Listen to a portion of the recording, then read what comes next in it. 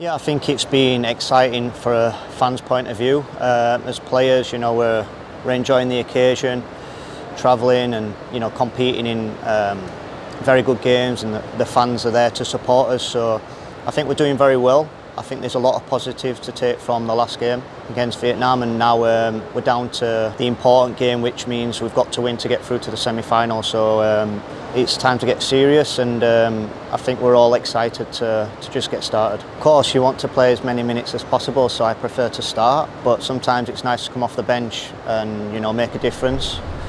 Um, I think we've got a strong squad where um, any players can start, um, and also other players can come off the bench. So for me, I'm just um, I just want to be effective for for the team, and if that means coming off the bench, I'm more than happy to do that. I would think that the the game plan would be something similar because they just need to get one point.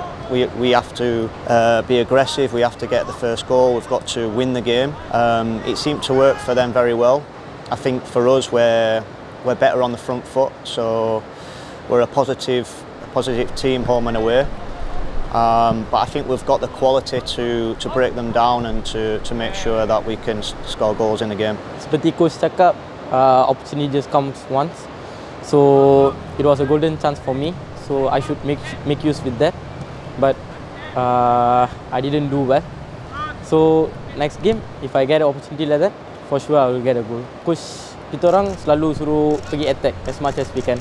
So so that we can gamble more up there. So kita nak score. Kita bukan team yang nak main defending semua. It's our advantage in home. So we don't want to draw or kita tak nak yang sia-sia menang ke.